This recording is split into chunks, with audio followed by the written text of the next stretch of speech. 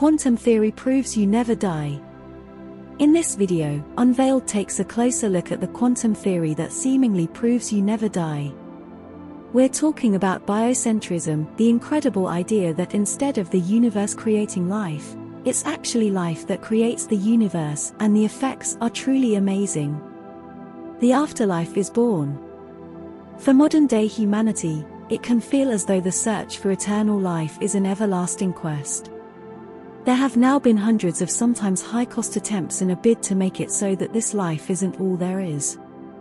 Experiments and trials aiming to take us to immortality, or to unlock evidence that there really is an afterlife waiting for us beyond this mortal realm. Now, though, via one relatively simple idea, do we finally have what we've been looking for? What if you knew that you were never going to die?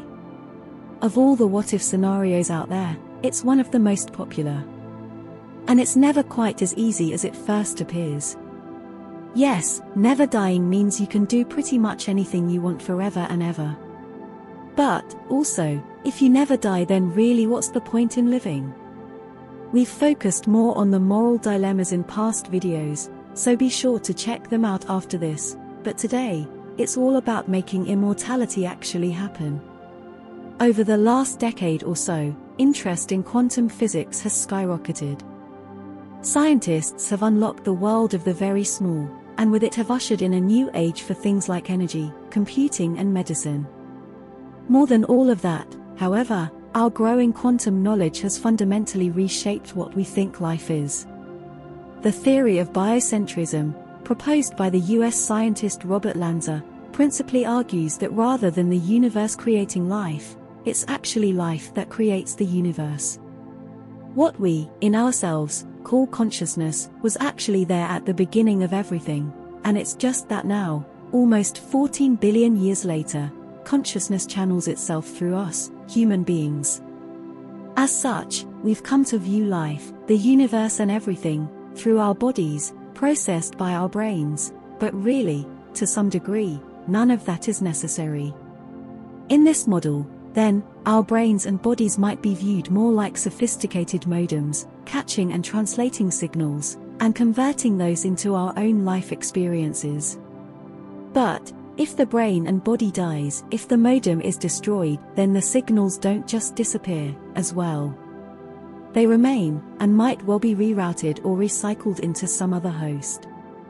In a biocentric reality, life is the signal. And while we may think that it's so reliant on our bodies for continuation, it actually carries on regardless. It's life as we don't know it, but it's life all the same, so the theory goes. Lanza's ideas have divided opinion since they were first put forward in the late 2000s. For some, Biocentrism offers a bridge between philosophical concepts on life and death, and the physicality of it all. For others, the theory is still far too vague, with little to no evidence as to what consciousness really is. In subsequent discussions and interviews, Lanza has highlighted the famed double slit experiment to back biocentrism up. Via the experiment, scientists can show that light and matter can be either wave or particle, depending upon whether they are observed.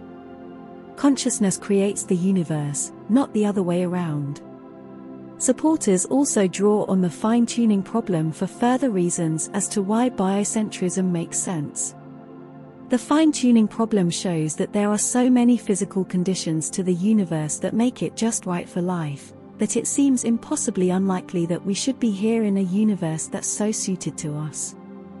When viewed biocentrically, though, there's no fine tuning problem, because consciousness obviously would aim for a reality that works. According to some, all of this inevitably leads to so called life after death, to death being an illusion, because life and consciousness no longer end with our bodies and brains. Instead, it dissipates out of us as a kind of energy into the rest of the universe, of its own making, once the vehicle of a body is no more. Again, biocentrism is sometimes criticized for the vagueness of this aspect. Although, it's not as though this is the first attempt to place consciousness, or a soul, beyond our physical means. Discussions of that sort go all the way back to Rene Descartes, at least, in the 17th century and the Age of Enlightenment. More broadly still, biocentrism suggests that even the underlying principle of time is merely the product of consciousness inside our current bodies creating a means through which to understand and remember. Time, and specifically the arrow of time, is then explained as a tool of our minds, rather than some kind of higher, immovable quality of the universe. But finally, Lanza's biocentrism isn't the only such idea toward living forever, either. The succinctly named quantum immortality model relies on that other underpinning, central concept of modern theoretical science, the multiverse. Developed out of Hugh Everett's many worlds interpretation, the idea is that for every choice or split that's ever made, a new branch of reality is formed. These branches never cross over, but run closely alongside one another, reflecting minor to major differences as a direct result of whatever caused the split in the first place. Over the years, science fiction writers have had a lot of fun with the story potential here, suggesting that huge events could well be determined upon a person's fleeting decision to buy an apple or a banana, for example. But what the multiverse could mean for life after death is something that science fact has pondered, too. The basic premise of quantum immortality is that, in a multiverse, there should always be a split possible through which a person survives. A rerouting through reality which means that again and again and again, they live rather than die. The idea can once more be linked back to key studies like the double slit experiment, which apparently suggests that all options are always possible, until they're observed and then are not. Death is still death.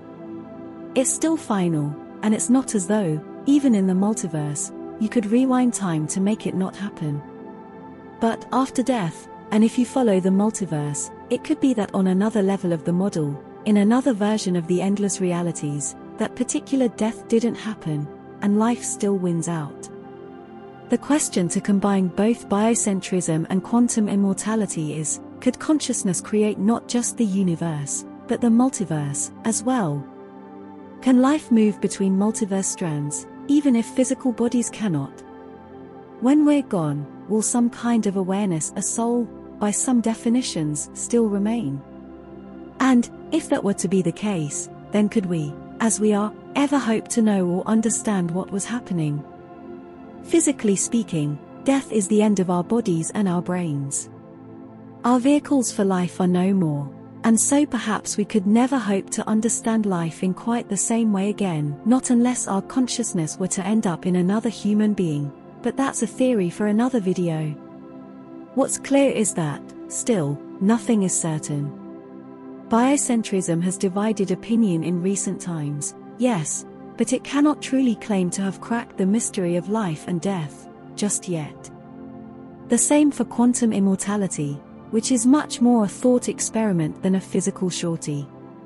Again, for modern day humanity, it can feel as though the search for eternal life is an everlasting quest. And that's good and encouraging in some ways, but not so much in others.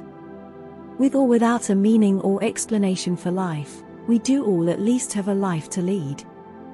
With emotions to feel, roles to fulfill, and experiences to share. There are some massive and fundamental unknowns still outstanding, but until that fog eventually lifts, we can all spend our lives looking out for each other, enjoying the good times, and savoring the things that make us happy. In conclusion, quantum theory, with its vast implications for our understanding of reality, provides a platform from which to explore the possibility of eternal existence. While the arguments presented in quantum theory proves you never die, unveiled offer tantalizing possibilities, further scientific research and evidence are necessary to substantiate these claims fully.